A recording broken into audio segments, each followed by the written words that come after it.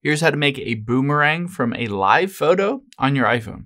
Now, if you have your iPhone and you take a live photo, you have the ability to do a boomerang, aka a bounce, where basically it'll essentially go forward and then backwards, and then forward and then backwards. I'll show you how to do it.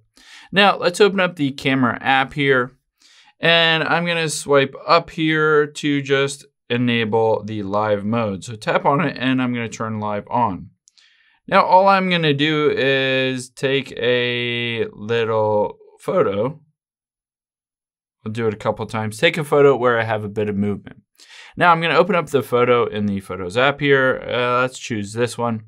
And now if I tap and hold on it, you can see there's a bit of movement on there.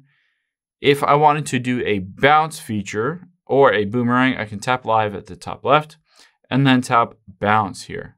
So basically it will process it and you can see it goes back and forth, essentially doing it over and over and over again. So this adds a cool effect. Sometimes you see this on Instagram, TikTok, stuff like that. But essentially now it's saved like that. You can share this on social media, anywhere you want. You can text it. And basically it's built in with that bounce or boomerang. Hope this helps. If you have any questions on that, leave them in the comments down below. And I'll catch you on the next one.